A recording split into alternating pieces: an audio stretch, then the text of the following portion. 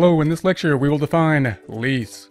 Support accounting instruction by clicking the link below giving you a free month membership to all of the content on our website broken out by category, further broken out by course. Each course then organized in a logical, reasonable fashion, making it much more easy to find what you need than can be done on a YouTube page. We also include added resources such as Excel practice problems, PDF files, and more like QuickBooks backup files when applicable. So once again, click the link below for a free month membership to our website and all the content on it.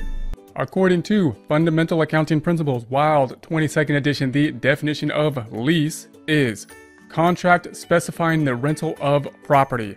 So when we're thinking about a lease, we're thinking about a piece of property and two people involved in that property. One, the lessor, the person who owns the property, and two, the lessee who is going to have temporary use of the property. For example, we could have a transaction such as this where this is the piece of property.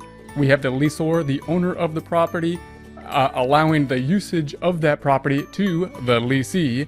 As time passes, then the lessee will then owe the lessor rent rent for the usage of that property. At the end of the leased period, then the property would be then returned from the lessee to the lessor.